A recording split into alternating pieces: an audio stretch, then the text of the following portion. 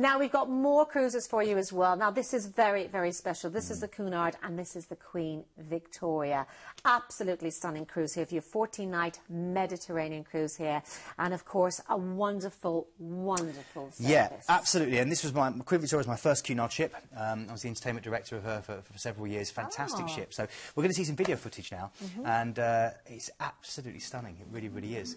So, look, you're seeing here when she was originally named back in 2007 and launched.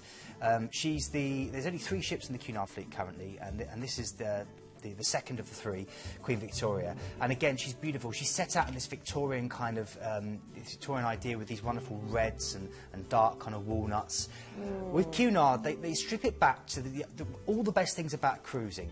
You know, it's all about the service. It's all about beautiful surroundings. They don't do gimmicks. They don't do, you don't do all these flashes, these bells and whistles. Yeah. They just do what they do, what they offer you, mm. to the best possible. That beautiful theatre there, which is um, oh, stunning, absolutely stunning. Private theatre boxes where you can watch the show. Uh, they do a thing where you can go through and you get a photo of the show. You get kind of champagne and stuff brought through to you, and you get to enjoy the show as if you know um, it's part of a you know part of a luxurious dining experience. It's incredible. It's called the theatre box. Absolutely Beyond that, you've got fantastic um, places where you can go and relax, whether it's from sunbathing through to the through to the Queen's Room, which you're seeing pictures of, mm -hmm. um, and then you go through and have a wonderful chance to enjoy um, the service, the Golden Lion pub, where you can get fish and chips, where you can get you know draft beers, where they have a bit of a sing along maybe a bit of karaoke in the evening. The whole place is a bit of a living museum. So you're seeing Cunardia, you're going to see bits of, of Cunard's history, and again, Cunard's history yes. stretches back over 174 years, uh, going through you know World War One, World War Two, a massive involvement.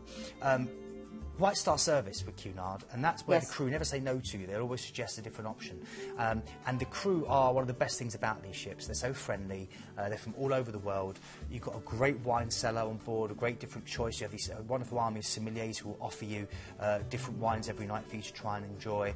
Um, you've got the Veuve Clicquot champagne bar where you can sit and people watch and watch the world go by. Um, oh. And great entertainment and great guest lectures as well. They have oh, really good speakers on, really good. I mean, yeah. I, I, interviewed David Frost when I was on there. You, you get loads of great people. John Cleese is on there all the time. You get big names um, from the entertainment industry who are on there talking about uh, their life, talking about their work oh. sharing it with you. Oh, absolutely stunning ship, of course, and great destinations, of course, for you as well. Uh, let's start off. We go from Southampton. We've got three relaxing days at sea to enjoy what you have just seen, and then we move on to our destination. Cartagena, yeah, which is tucked in a deep bay guarded by these two magnificent clifftop fortresses, well worth going to enjoy. Just walk through the town. It's a Spanish gem. It's steeped in history, and you've got the beaches of Costa Calida, 175 miles of them to explore, and also La Manga Strip you like a bit of expat paradise. Then uh, you're heading on to Barcelona. And Barcelona, stunning city, of course. I'm going to be filming there in a couple of weeks' time with Planet Cruise.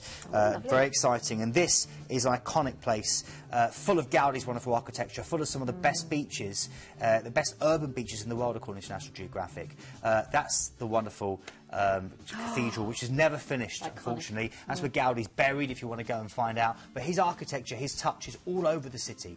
Uh, La Pedrera, one of the two homes that he built, is probably the best thing to go and see. You can walk through the chimneys, and the views from there are stunning. And then Park Güell, again, is a, was a park built for one of the local barons, which is stunning to go and explore. You can go into the Nou Camp, go to the football museum, head out to Montserrat, the Holy Mountain.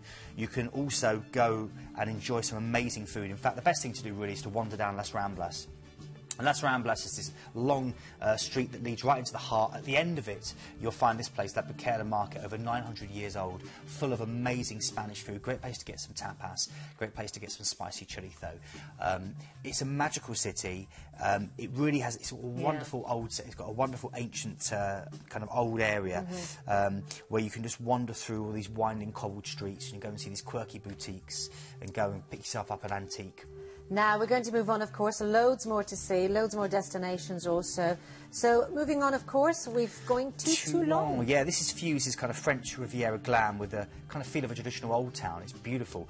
Um, it's got a lovely little harbour area which you can go and explore with loads of creperies, so you can go and have a crepe right on the seafront in Toulon, which I always recommend. Uh, a great local farmers market as well for you to enjoy with some great produce there um, from all the little villages. And this is your gateway through to the Provence countryside, to the sunflowers, um, through to the, the, the, area that inspired artists like Van Gogh. You can head out to lovely little places like Cassis, and of course you can head out to Saint-Tropez uh, and oh. enjoy uh, the fame and fortune and That's the. Celebrity watching. celebrity. Yeah, Yes. exactly. Spot your celebrities out in Saint Tropez. Absolutely. And then we move on to Florence. Yeah, Florence. Uh, well, the, the port is Livorno, and Mm-hmm. from here you can go through to the Living Renaissance Museum that is Florence, or you can go to Pisa and get your photo Oh, holding up the tower choice. if you want to.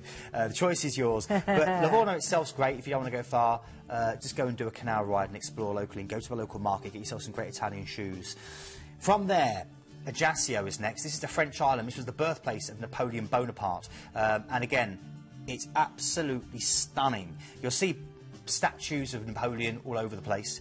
Um, but I recommend going through to the Palais Fesch, which you get uh, loads of great artwork. In fact, it's, it's France's largest collection of Italian paintings outside Louvre, the Louvre.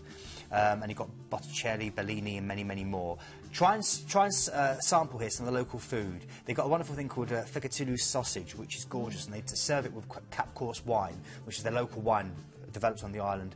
Really, really beautiful. There's loads of little beaches nearby, all within walking distance of where you dock. There's a little market again where you can try, um, oh, plum liqueur. The plum liqueur is to die for, and also the honey cakes. Get stuck into those. Oh, um, and beyond that, the Tortoise Park, Cupulatta Park. It's a tortoise protection centre, and you get little babies there, all the way up to these wizened old grandfathers. It's incredible. Oh, Europe's only, gorgeous. Europe's only uh, tortoise protection centre. Really? Yeah. Um, we then have a relaxing day at sea. We're going to Gibraltar next. Yeah, I always like to say this is like a piece of Portsmouth sliced off and, and rode 500 miles south. Um, in fact, Laurie Lee was the one who said that first. But cable car, you can do the cable car right up uh, the rock to visit the Barbary apes, the cheeky little monkeys. You'll see a picture of them there. He's looking happy. Or you can do a taxi ride straight from the ship up to explore. And when you go up there, you'll go to go underground as well. You get a chance to go and see the caves of Gibraltar, the, the acoustic, the acoustic, uh, wonderful cathedral cave, um, and you're also going to see all the siege tunnels uh, that were built in order to defend this area. Strategically, it's very, very important. Uh, it's a, it's a duty-free paradise, you know. You get great bargains on duty-free stuff. There's yeah. even a Marks and Spencer's if you want to go get your Percy Pigs. The Bobbies all look like they're from the Britain. You've got red pillar boxes, and it's, it's just a stunning little environment. Pubs where you can go to pub lunch. Um, brilliant. And now you've got your Percy Pigs and you're moving on to a relaxing day at sea. And then we have another great destination. Yeah, La Coruña. This is great because it's blanketed on both sides by the Atlantic. Um, it's a perfect walking city because it's got this big long promenade called the Paseo Maritimo, which stretches for 10 kilometres and circles the city. And it's your gateway through to Santiago to Compostela and also that, the Tower of Hercules that you just saw there. It's the oldest working lighthouse in the world, over 2,000 years old, dates back to Roman times. Absolutely incredible. Relaxing day at sea then, of course, and you are... I'll be back. We're back to Southampton. A beautiful ship, of course, that you're going to be able to enjoy the Queen Victoria. Seeing gorgeous images there as well. Yeah, beautiful ship. Again, I, I spent some happy years working on here, um, and it's. I like to say with Cunardis, it's five star. They've got the history, they've got the service. Uh, you'll have a wonderful cruise. You'll get a space of the ship just for you. They've got the wonderful ballroom where you can go Oh. dance. Um, they have live music all over the ship for you to enjoy. Whatever, wherever you go, harpists, quartets, two massive full-on bands that play live for you. It's, it's a paradise for It entertainment. is absolutely spoiling you on this one, of course. Great price here, £899 per person. That is incredible for what we've just talked about and what you have just seen there. You've got the half price on the uh, Meon Valley Marriott in Southampton as well. Your itineraries and ship differ slightly, of course, depending on the departure date. And, of course, you will have a deposit only there as well. That's on the 26th of July departure.